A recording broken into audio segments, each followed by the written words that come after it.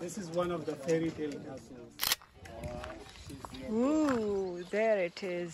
हसन भाई चाय वाला सामान उठा ले और समोसे वगैरह सब निकाल ले चाय हो और समोसे ना हो ये तो हो नहीं सकता ओहो ओह चाय चाय चाय वाला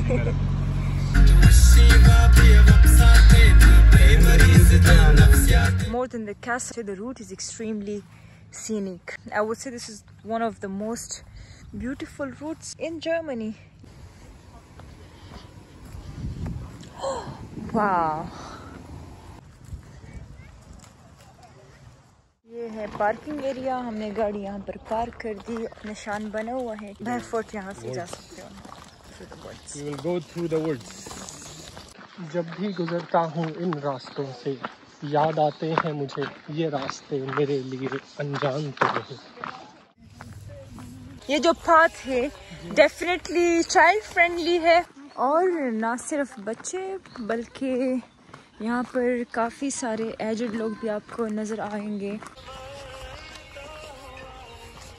ये हम पहुँच गए बुर्ग कैसल